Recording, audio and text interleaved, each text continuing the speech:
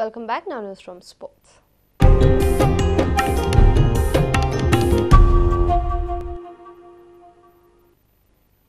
Edeh Chidi's brilliant headed goal was enough for Salgaonkar Sports Club to win their I-League match against Prayag United on Monday. The victory took the defending champions in the fourth place on 33 points, 7 behind leaders Dempo Sports Club. Salgaonkar and Prayag came into this match with their eyes on the fourth place as the I-League stays wide open following a flurry of shock results. Both the teams looked well matched and set for an even contest. Salgaonkar, however, looked the better side in the first half. Nigerian striker Edeh Chidi gave the home side the lead in the 26th minute with a superb headed goal. With a header, what a goal!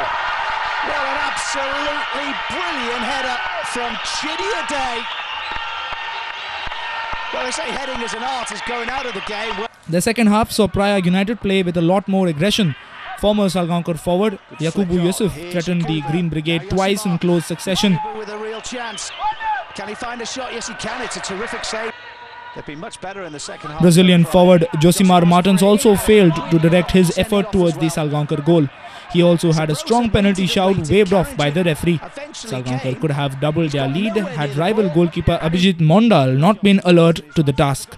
Salgaonkar held on to their lead and clinched full points to stretch their unbeaten run to 10 games. Bureau Report, Prudent Media.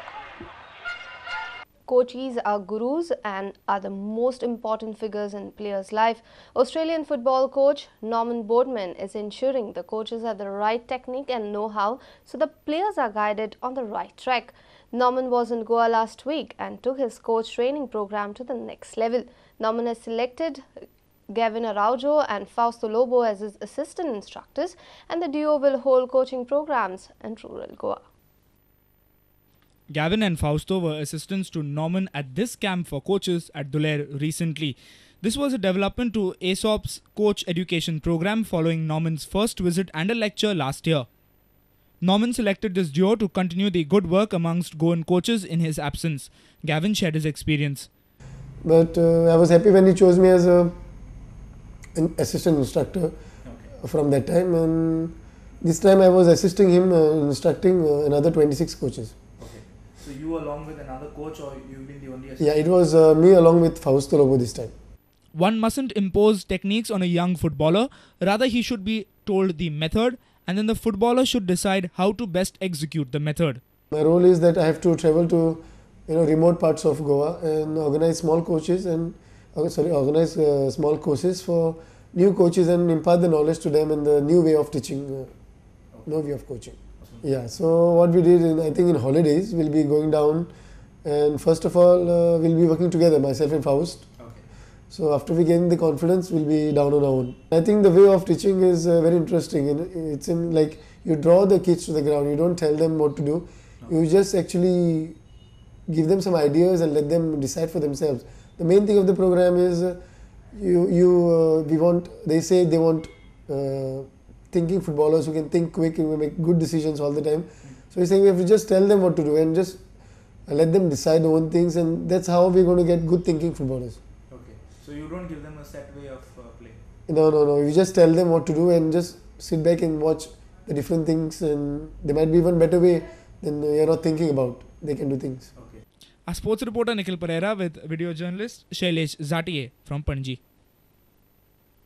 Mother of Mercy High School from Vasco scored a comfortable victory over Bhatikar Model English High School from Madgaon in the final of Mukund Trikanna Trophy. The 13th edition of All Goa Inter-School Tournament was organized by Madgaon Cricket Club.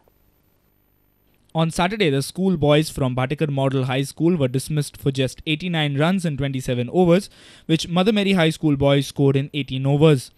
Organizing secretary of the tournament, Vinod Dhamaskar, gave a few details of the participating teams. I am very proud to tell you we had the maximum entries 20 entries. This is the first time we have had 20 entries participating in this tournament.